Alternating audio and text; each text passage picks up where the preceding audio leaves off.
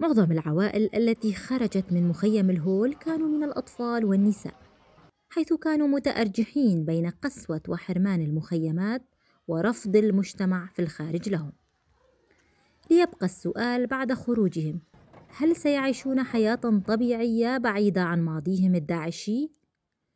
أم أنهم سيحملون فكر أزواجهم وآبائهم للانتعاش من جديد؟ وللإجابة عن سؤالنا الشيخ تركي السوعان أحد وجهاء عشيرة السبخة والذي تكفل بخروج عشرات العوائل الداعشية السورية. رافقنا إلى أحد الأحياء غرب الرقة لنلتقي زينب زوجة داعشي وأم لطفلين والتي حدثتنا عن وقائع مؤلمة من حياتها أثناء إقامتها مع داعش وانتقالها للهول. فجوزي كان مع فصيلة داعش واضطريت إني أكون معه وأروح معه وين ما يكون. وكنا كيف كنتوا عايشين أيام تنظيم داعش؟ المرأة كيف كانت عايشة؟ كنا عايشين بال... تحت يعني حرب خوف. المرأة عليها يعني كان عليها ضغوطات لباس طلعة روحها جاية أي شيء يعني. فصول معاناة زينب لم تنتهي رغم خلاصها من التنظيم ومغادرتها المخيم. كانت كثير صعبة ظروفنا. أطفالنا ما في تعليم لهم عايشين بالمخيمات تحت البرد.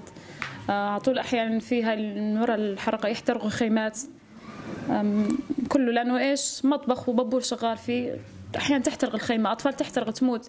نحن نعيش بالخوف هذا عايشين بالخوف يعني. ممكن بأي لحظة نعتبر حالنا نحن راح يصير معنا مثل غيرنا. وبرد. وما في تعليم الأطفال ما في مساعدات يعني. كنا خايفين بنفس الوقت من العالم متشددة يعني نساء متشددة إنه ليش تغيرتوا؟ ليش غيرتوا حياتكم؟ ليش ما تضلون؟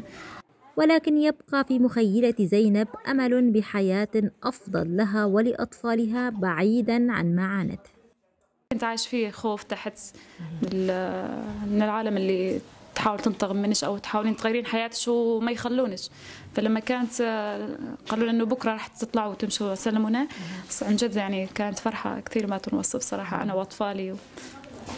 حيل يعني كويسة. شو فرق المعاملة بين الماضي وبين هلا؟ أكيد بفرق كثير.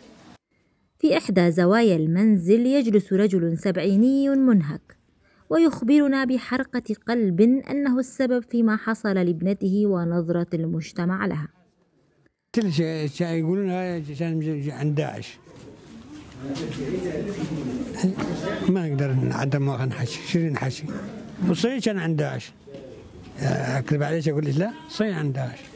طيب أنت كيف حاولت تصلح موقفها تساعدها أنت كأب؟ والله اللي أقدر عليه بدي اصلح بدي اعاونها اللي أقدر عليه هذا هو هيك بس. والحمد لله. يعني برأيك هي ما لها ذنب أو هيك؟ لا والله ما لها ذنب الذنب ذنب يعني. أقول لك يعني الذنب ذنب يعني. بس هي ما لها ذنب. ليش ذنبك عمو؟ لأن أنا جوزتها عليهم. هيك يعني بس. استطاعت زينب وأطفالها الحصول على فرصة جديدة للعودة للحياة الطبيعية. بعد فصول طويلة من المعاناة في ظل تنظيم إرهابي دمر حياتها. ولم تعد لها سوى رغبة واحدة. أن تحصل على عمل تعيل به أطفالها وتربيهم بعيدا عن الأفكار المتطرفة التي قتلت والدهم. روناك شيخي لأخبار الآن من مدينة الرقة في الشمال السوري.